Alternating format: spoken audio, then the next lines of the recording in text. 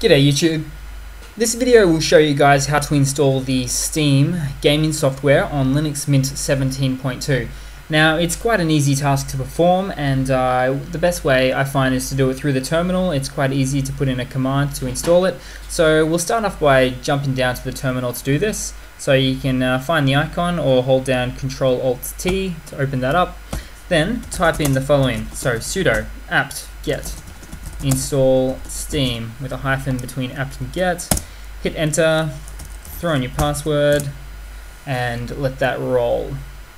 Now it should be a fairly quick process. The good news is it's automatically, Steam is automatically in the repositories, the Linux Mint 17.2 repositories for installing, so there's no need to add a new repository, which is great. It's nice and easy. Let that roll across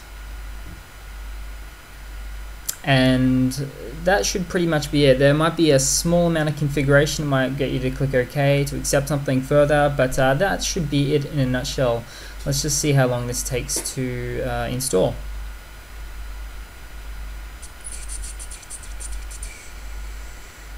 Okay, a little bit, oh, no, there we go, so done.